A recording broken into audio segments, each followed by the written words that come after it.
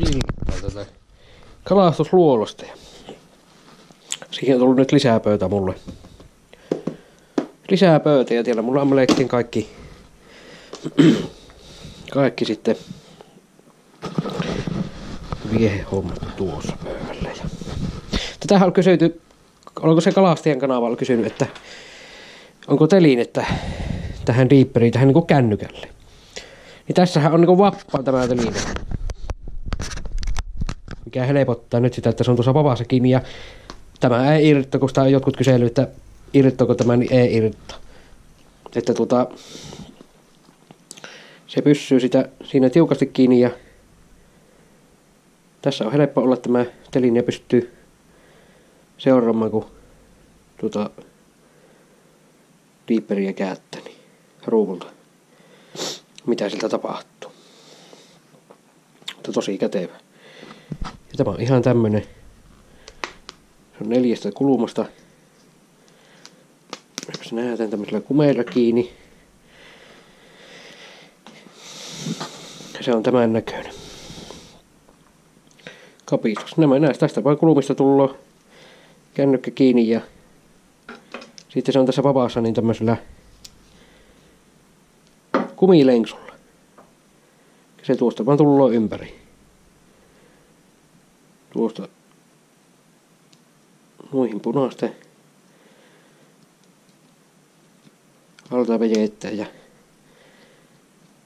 sitten toiselle puolelle kiinnittyy.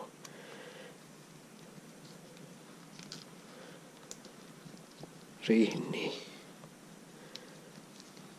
Ja se on siinä. Semmonen.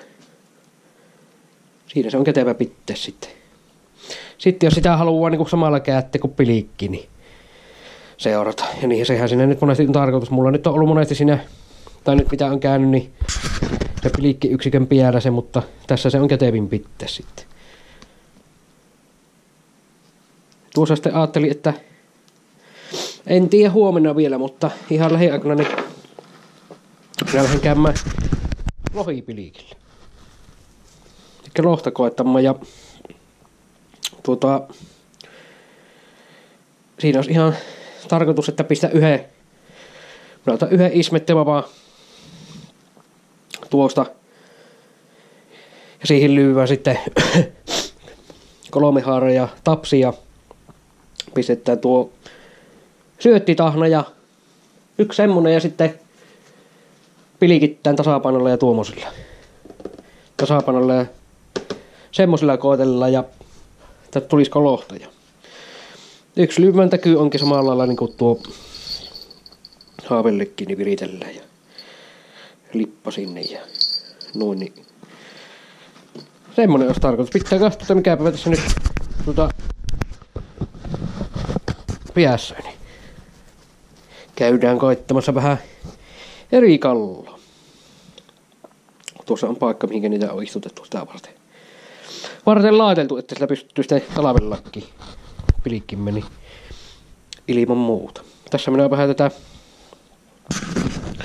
nurkkasta nyt tehnyt. Tehnyt vähän tavaroita tuohon laittanut kätevästi, että